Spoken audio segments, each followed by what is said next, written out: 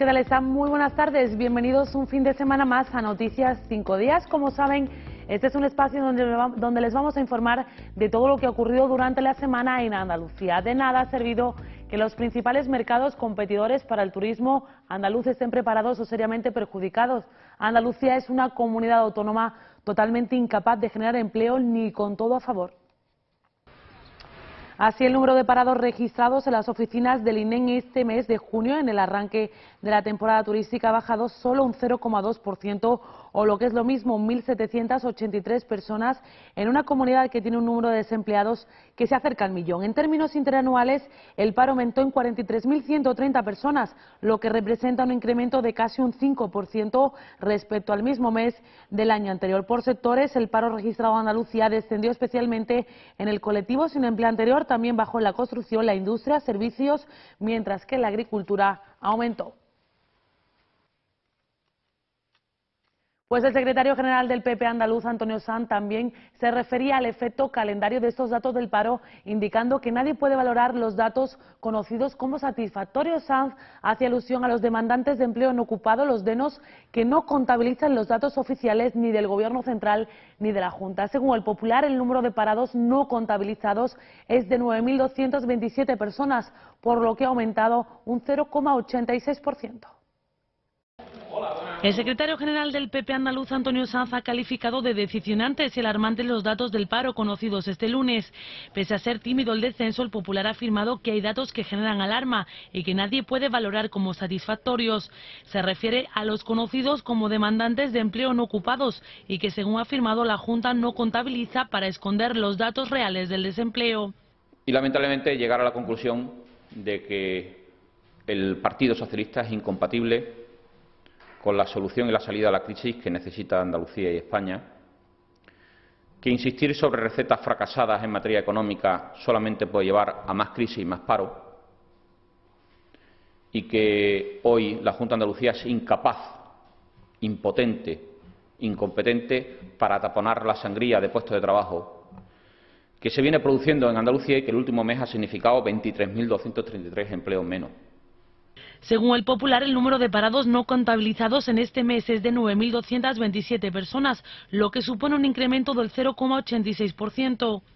En otro orden de cosas, el número 2 ha anunciado que su formación pedirá la comparecencia del Gobierno andaluz en el Parlamento para que explique el centenar de varapalos judiciales recibido en los últimos cinco años por su política sobre la función pública. El Partido Popular considera que los principales actores de la gestión pública tienen que ser los funcionarios, muestra toda su confianza en la función pública andaluza, pero muestra todo su rechazo a la estrategia de politización de la administración pública y al abuso permanente, al descontrol y a las ilegalidades permanentemente cometidas por el Gobierno andaluz en relación con la administración pública el sector público empresarial que ha motivado la vergüenza de casi un centenar de sentencias contrarias de varapalos judiciales a la política seguida por la Junta de Andalucía. Además, ha señalado que estas sentencias pone de manifiesto la existencia del descontrol en la política del Ejecutivo y ha instado al Gobierno a que ponga fin a esas actuaciones.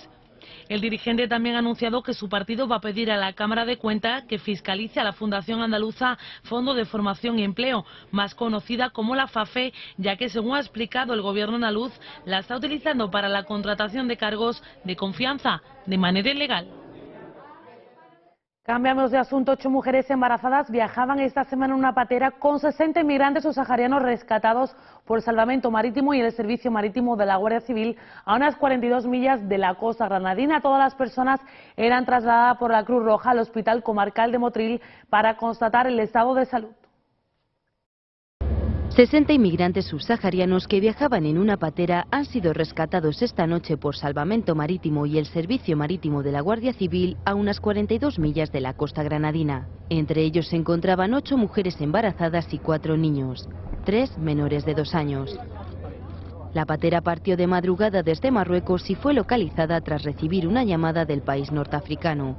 Así lo explica José Medina, responsable del servicio de la Guardia Civil en el litoral granadino.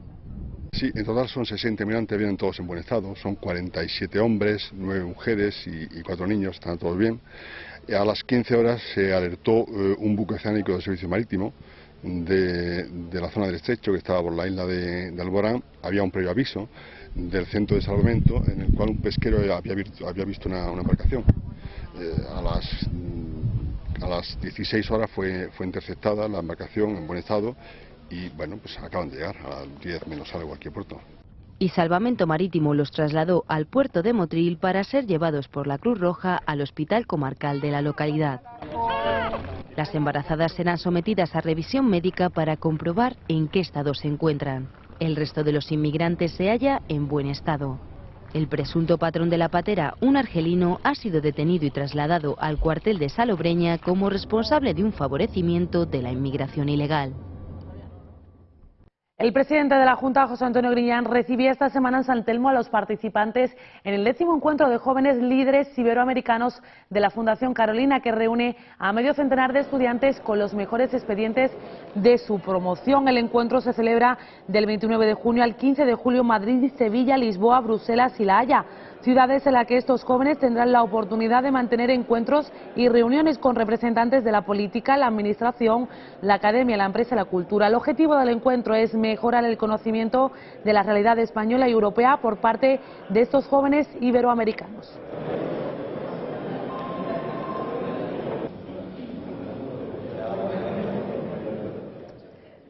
La Guardia Civil detenía en Sevilla a dos personas acusadas de traficar con cocaína desde Sudamérica para venderla en España y a las que ha incautado más de tres kilos de droga que ocultaban en sobres que aparentaban contener revistas en su interior. Según un comunicado del Instituto Armado, en la operación se han aprendido un total de 23 paquetes de 3 milímetros de grosor de cocaína con un peso total de 3.300 kilos. La Guardia Civil ha detenido en Sevilla a dos personas acusadas de traficar con cocaína desde Sudamérica para venderla en España y a las que se ha incautado más de tres kilos de droga oculta en sobres que aparentaban contener revistas. La operación comenzó tras detectar la Guardia Civil del aeropuerto de Barajas cinco paquetes postales procedentes de Uruguay con destino Sevilla, de los que se sospechaba que contenían cocaína. Así lo explica un portavoz de la Guardia Civil. La Guardia Civil tiene dos personas eh, que y además ha incautado 3 kilos con 300 gramos de cocaína. Todo surge a raíz que la Guardia Civil de Madrid, de Barajas, detecta eh, un sobre que podía llevar cocaína en su interior. Eh, se hace una entrega controlada y cuando se va a detener a esa persona ya no había llegado un sobre, tenía la Guardia Civil ya más de 10 sobres que iban a la misma persona. Se detiene a esta persona que da el correo y posteriormente se detectan más sobres los que van dirigidos, en este caso sería el cabecilla de la trama, cabecilla que sospecha que la Guardia Civil podía detenerlo, no recoge los sobres y los sobres van a un negocio de un, de un suyo que, y en ese negocio pues esta persona recibía los sobres y se los guardaba sin, saber lo que había en su interior y se los guardaba al que, al que es el cabecilla. En la operación fueron detenidos un vecino de la barriada de Pinomontano de Sevilla, acusado de ser el correo que recogía la droga, y otro vecino de la localidad sevillana de Carmona, presunto cabecilla de la organización y destinatario final de la droga, al que se le imputa un delito contra la salud pública. El pasado fin de semana se daba por concluida la pasarela South 3632 Norte. El baluarte de la Candelaria acogía durante estos días alguna de las mejores colecciones del panorama español. La ciudad se volcaba de nuevo en una cita que ya parece consolidada. La crisis no ha afectado a la moda o así lo defienden la mayoría de los diseñadores que han estado presentes en el showroom y en las pasarelas. Los clientes, como se ha visto en estos días en el baluarte, siguen disfrutando de la moda y pagando por ella. Los desfiles, como viene siendo habitual, han vuelto a ser estrellas de South. Lena Lumersky fue una de las protagonistas del evento. La ganadora del Botón Mango Fashion Award 2010 estuvo presente con sus últimas obras. La colección otoño-invierno de la artista ucraniana se inspira en el pueblo amish y en las etnias rusas, en su modo de vida y en su forma de vestir. Modestia, espiritualidad, pureza y conexión con la naturaleza. Silvia Ramírez, Leandro Cano, Fernando Claro o Pelican Avenue fueron otras de las firmas que se pudieron ver encima de la pasarela. Todas cosecharon importantes aplausos de los asistentes gracias a la calidad que se mostraron en cada una de las citas. Las organizadoras del evento solitas han destacado durante toda la programación la importancia de esta cita para los diseñadores más jóvenes y principalmente para que Cádiz también cuente en la red de diseño española. El próximo año ya se está trabajando para la participación de diseñadores iberoamericanos, con las miras puestas en el hermanamiento con la moda española con motivo de la celebración del bicentenario de la Constitución de 1812.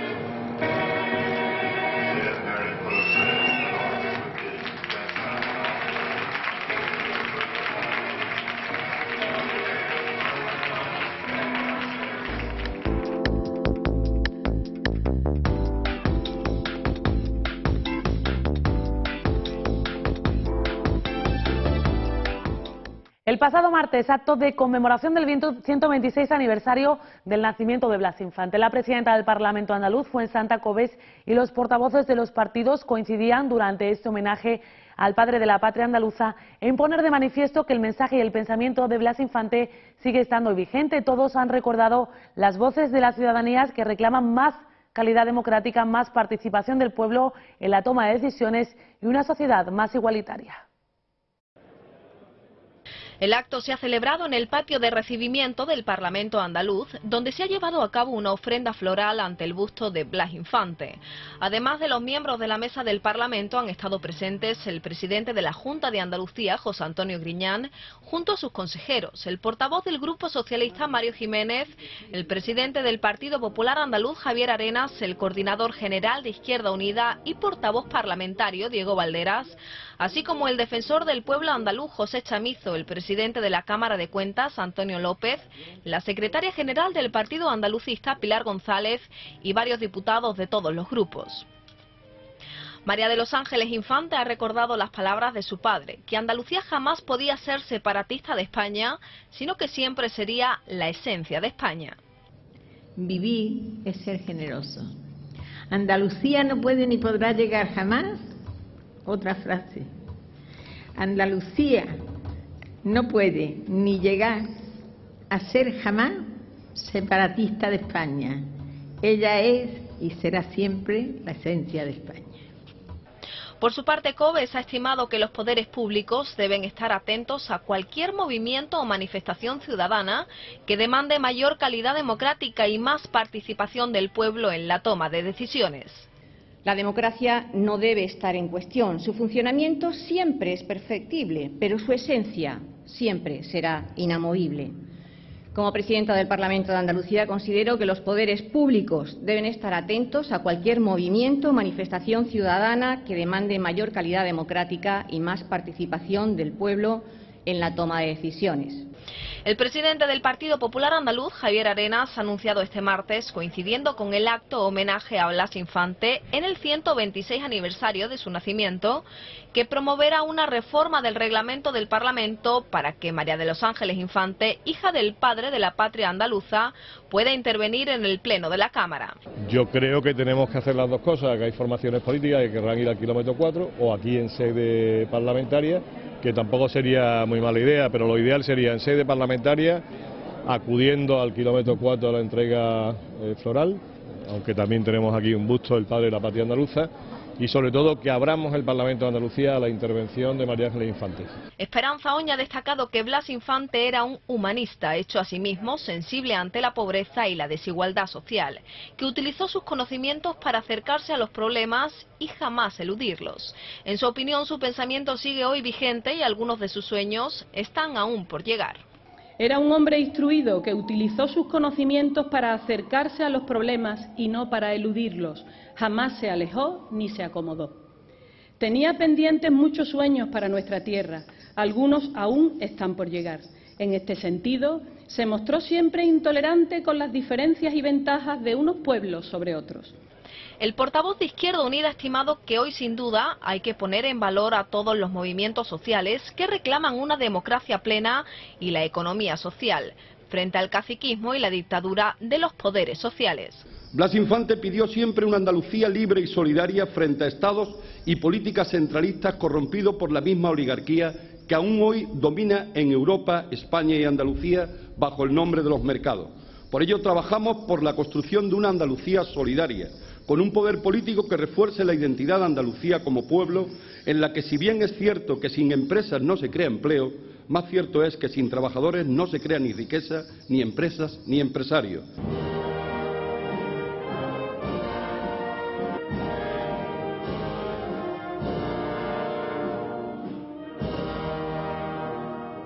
Por cierto, Caranas, después de este acto, anunciaba que ha registrado en el Parlamento de Andalucía su declaración de la renta correspondiente a 2010 y que comparecerá ante notario para dar cuenta de los gastos que conlleva su actividad política.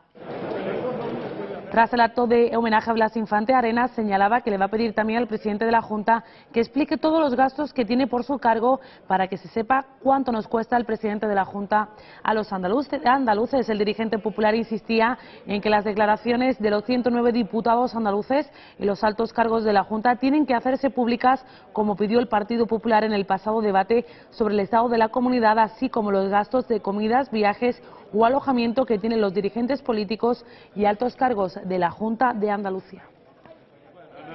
Las 109 declaraciones deben ser públicas, las 109. Todos los altos cargos de la Junta de Andalucía tienen que hacer su declaración pública. Los dirigentes políticos y altos cargos de la Junta deben también hacer públicos los gastos que reciben de sus formaciones políticas para diversas actuaciones como comida, cenas, viajes, gastos de representación y yo por supuesto mi declaración está entregada en el Parlamento de Andalucía, voy a comparecer ante notario y aparte de esas dos cuestiones la haré pública muy pronto. Cádiz celebrará en 2012 su año grande. Se conmemora el bicentenario de la Constitución de 1812, una fecha histórica para la que estaban planeadas grandes infraestructuras de la ciudad pero ha recibido un duro varapalo al conocer que el AVE no llegará a la capital gaditana hasta 2014. Por si fuera poco, la obra insignia de esta conmemoración, el segundo puente, parece que tampoco estará lista, ya que la empresa constructora ha decretado la ralentización inmediata de las obras. Cádiz, una de las provincias más perjudicadas de España por el desempleo y la desertización industrial, recibía la pasada semana dos nuevos palos. Un golpe de fomento descartaba la A4 entre Cádiz y Sevilla y retrasa la alta velocidad a 2014. Por si fuera poco, ahora las peores sospechas que asomaban desde esos días sobre la marcha del segundo puente comienzan a confirmarse. Y es que Dragados, la empresa encargada de la construcción del tercer acceso a Cádiz, ha decretado la ralentización inmediata de las obras. Esgrimen falta de financiación comprometida por la Junta, que debido a los reajustes presupuestarios estaría aún pendiente de confirmación. Se tratarían de los 20 millones de euros que Dragados reclama al Ejecutivo andaluz para realizar la línea de tranvía que está proyectada sobre el segundo puente. Un proyecto ferroviario en suspenso ya que las conexiones aún no han alcanzado el extremo de la cabezuela. Así las cosas, la constructora querría con esta medida garantías en la viabilidad de las obras justo antes de que comience la colocación de los tableros que estaban programadas para este mes. El consejero de Gobernación Luis Pizarro ha eludido responsabilidades en la decisión de Dragados, destacando que la parte del proyecto a la que se comprometió la Junta aún no se ha iniciado. Por su parte, la alcaldesa de Cádiz ha lamentado este nuevo revés en el desarrollo del puente, advirtiendo que después del parón del pasado verano y de la campaña ciudadana impulsada a favor del segundo puente, Cádiz se volverá a movilizar si fuera necesario para exigir que se cumplan los compromisos asegurados por el Gobierno de contar con el segundo puente en 2012.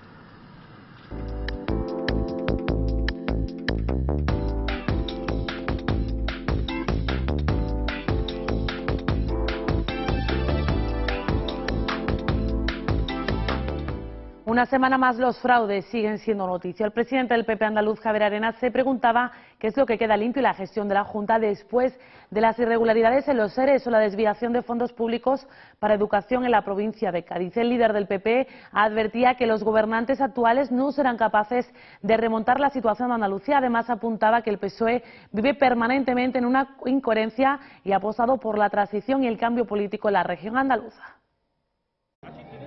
El presidente del PP andaluz, Javier Arenas, ha valorado la situación de Andalucía un mes después de la toma de posesión de los ayuntamientos y comunidades gobernadas por su formación.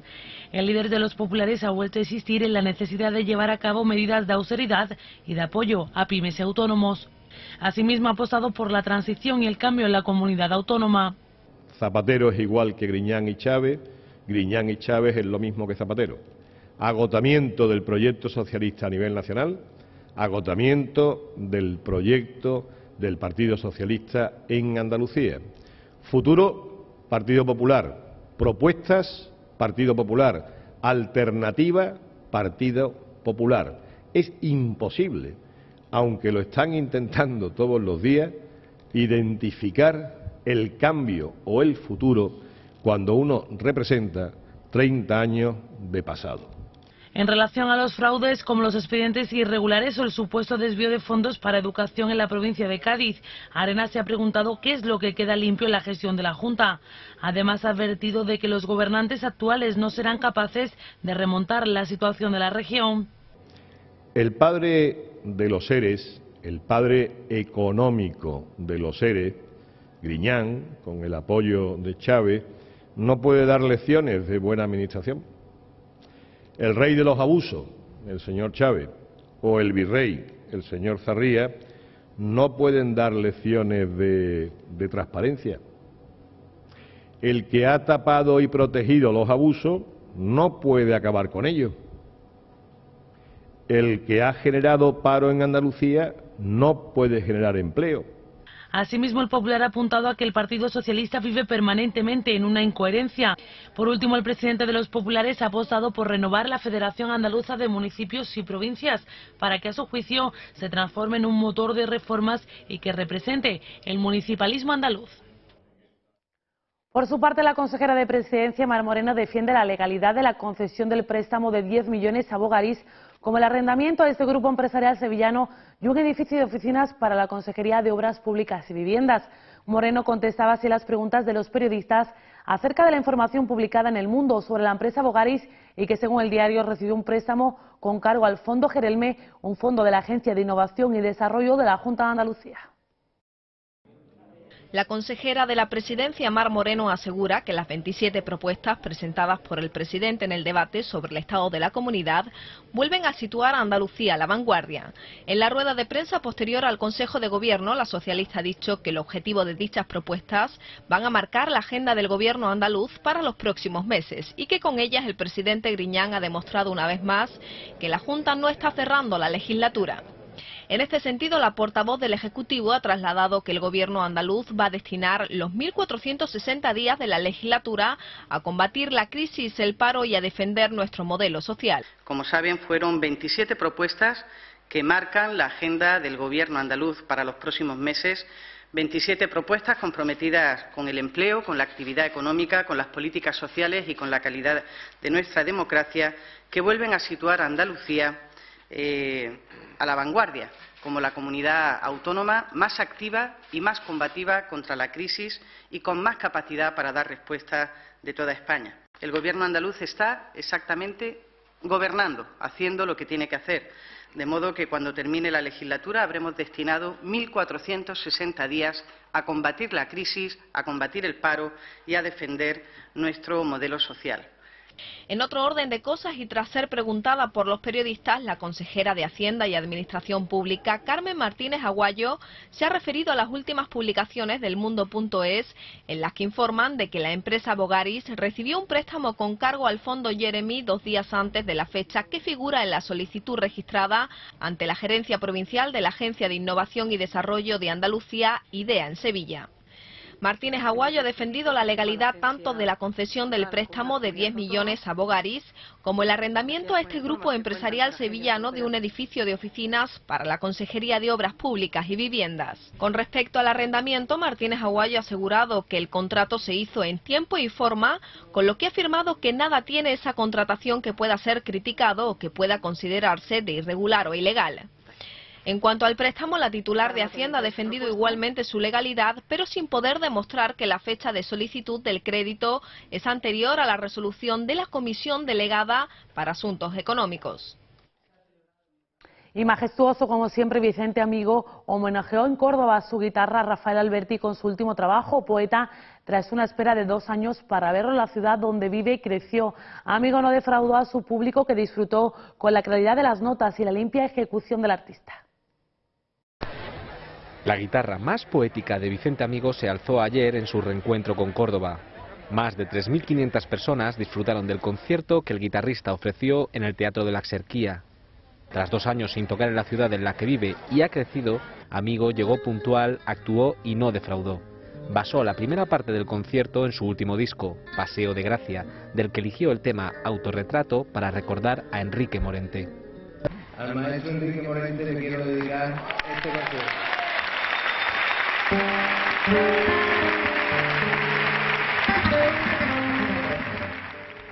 Tampoco faltó el homenaje a Rafael Alberti con la interpretación del disco Poeta, inspirado en la obra Marinero en Tierra. La actuación no defraudó al público cordobés, que como asegura amigo, sabe de guitarra. Encantado. No hay nada mejor para abrir el Festival de la Guitarra que Vicente Amigo y la Orquesta de Córdoba. Ha transmitido muchísimo y precioso con la Orquesta de Córdoba, muy bonito. Vicente Amigo sacó energía, sensibilidad, ternura y garra de las seis cuerdas de su guitarra e hizo las delicias de un público entregado durante la inauguración de la 31 edición del Festival de la Guitarra de Córdoba.